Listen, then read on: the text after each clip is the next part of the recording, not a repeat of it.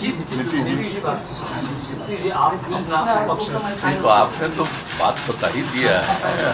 सब लोग तो आए ही हुए हैं इनसे मिलने के लिए।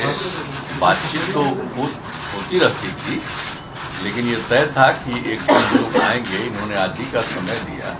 और आज जो इनका मामला था जिसके बारे में जानते ही हैं इनके साथ जो अन्याय हुआ था अब जिस तरह से जो फैसला आज आ गया तो बहुत अच्छा हुआ है। तो उन्होंने खुद ही बता ही दिया है। और किसी भी प्रकार से एक तो आश्चर्य की बात है कि पार्टी के नाम को कैसे कोई बदल सकता है। तो इन सब चीज़ों को लेकर के तो हम लोग सब दिन तो अपनी बात अपना इनके साथ हम लोग रही हैं। लेकिन अभी जो हम लोग आए हुए हैं, उसका मकसद इन्होंने बता दिया हम लोग चाहते हैं कि पूरे देश में अधिक से अधिक पार्टियाँ एकजुट हों और मिल करके हम लोग लड़ेंगे। तो आज जो केंद्र में है, वो पूरे देश के लिए कोई काम नहीं कर रहे हैं। और समझ लीजिए, इतिहास बदल रहा है, इसलिए इन सब चीज़ों को देखते हुए अपने देश के हित में और आज़ादी की लड़ाई हुई और किस तरह से देश आज़ाद हुआ है और कितना ज़्यादा काम होता रहा है पहले से काम तो करते नहीं। अब आप सब लोग मीडिया के साथ ही हम आपका नमन करते हैं, आपके हम खिलाफ नहीं कुछ बोल सकते। लेकिन हम जानते हैं ना कि आप लोगों के ऊपर भी किस तरह से किया है कब्जा। कि कोई कोई बात तो थोड़ा बहुत आप कह दीजिएगा, लेकिन ज़्यादातर वो लोग अपनी तरफ़ से प्रचार करवा रहे हैं। काम क्या कर रहे हैं देश में, बताइए। कहीं कोई काम हो रहा? और अलग अलग राज्यों में दूसरे पार्टी के लोगों ने जो काम किया है, उसके बारे में तो उतना चर्चा भी नहीं होता। तो इसीलिए देश के हित में ज़रूरी है कि भाई देश आगे बढ़े और आपस में किसी तरह का विवाद नहीं होना चाहिए। कोशिश क्या हो रही है? समाज में एक तरह का विवाद पैदा हो और ये नहीं होना चाहिए। सब में एकता, हिंदू, मुस्लिम, कोई भी जाति के हों, सब में कोई विवाद नहीं होना चाहिए, एकता रहनी चाहिए। तो हम लोग तो यही चाहते हैं कि ज़्यादा से ज़्यादा पार्टियाँ एक साथ मिल करके काम करेंगी और इस बीच में बहुत लोगों से बातचीत हो गई है। आज तो इनसे ऐसे हमारी बातचीत हम लोगों की होती रहती है, आई ही। है आज भी बात करेंगे। अब इसके बाद ये तय होगा कि कब मीटिंग सब लोगों की होनी। तो अभी तो एक राउंड आप जानते ही हैं, पिछले महीने भी हम लोगों ने बातचीत किया और जिस तरह से बातचीत हुई है अनेक पार्टियों से, बहुत लोगों से बहुत अच्छी बातचीत हो गई है। अब उसके बाद आगे जो करना होगा वो हम लोग करेंगे। सर लेकिन अभी तो आए हैं बस यही मकसद है इनका और हम लोगों का विचार तो एक ही है ना।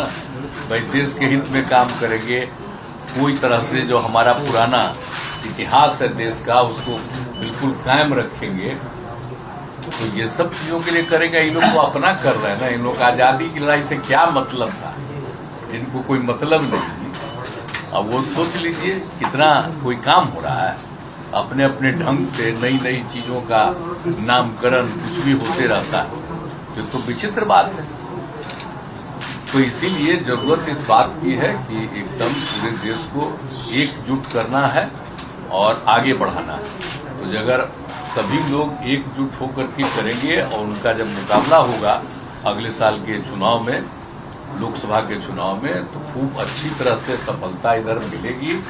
और फिर देश सही दिशा में आगे बढ़ जाएगा। मेरा सवाल है इसके दो पक्ष पहला पक्ष यह है आपने कहा लड़ाई में अकेले नहीं लड़ रहा हूँ मैं जनता के लिए लड़ रहा हूँ।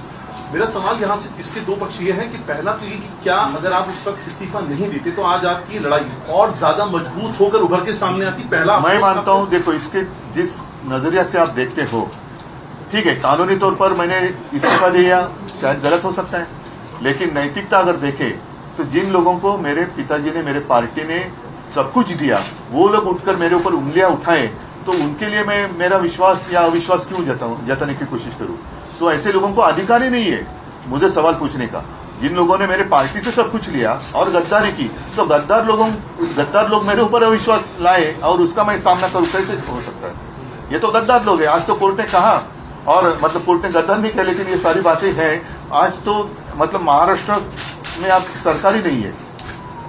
नैतिकता तो अभी जैसे मैंने नैतिकता का पालन किया तो अगर इस मुख्यमंत्री में जरा भी कोई नैतिकता होगी तो राज- मुख्यमंत्री उप मुख्यमंत्री ने राज- इस्तीफा देना चाहिए जैसे मैंने दिया।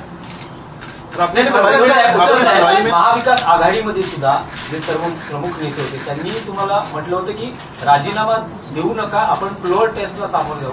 तुम्ही भावनिक राजकारणाला महत्त्व दिलं नाही असेल असेल तो कदाचित आमच्या घराण्याचा गुण किंवा दोष असेल पण मी जे आता म्हटलं की ज्या घरांनी ज्या पक्षांनी ज्यांना सगळं काही दिलं सगळं काही घेऊन सुद्धा जे माझ्या पाठीत वार करायला निघाले त्यांनी माझ्यावरती अविश्वास आणावा हे मला काही पटलेलं नाही. म्हणजे एक तर स्वतः गद्दार त्यांनी घात विश्वासघात त्यांनी केला.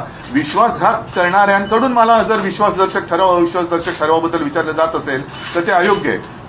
सर आपके इस लड़ाई में मला असं दो युवा वाटतं बैठे हैं। दो युवा यहाँ पर है आदित्य हैं और तेजस्वी हैं जिस लड़ाई की आप बात कर रहे हैं जो मिलकर सामने आए हैं इनमें इन दोनों का कितना अहम रोल और किस तरह से देखेंगे आप? अभी क्या क्या रोल अभी क्या है, वो आ, सिनेमा या नाटक थोड़ी है कि रोल कैसे रहेगा? ये देखो ऐसा रोल रहेगा। ये रोल तो जब ये हम लोग opposition unity की बात करते हैं। आ रहे हैं विपक्ष का चेहरा कौन बनेगा? आपकी कुछ कोशिश ठीक है चलो अभी तो हम एक आ रहे हैं। देखिए सबको एकजुट करना चाहते हैं लेकिन अपना कुछ नहीं करना चाहते हैं ये जान लीजिए। हम तो सिर्फ़ चाहते हैं कि सब एकजुट हो मिल करके सब लोग लड़े और हम लोग मिल करके पूरा का पूरा सिद्धांत बना के चले और देश को आगे बढ़ाएँ।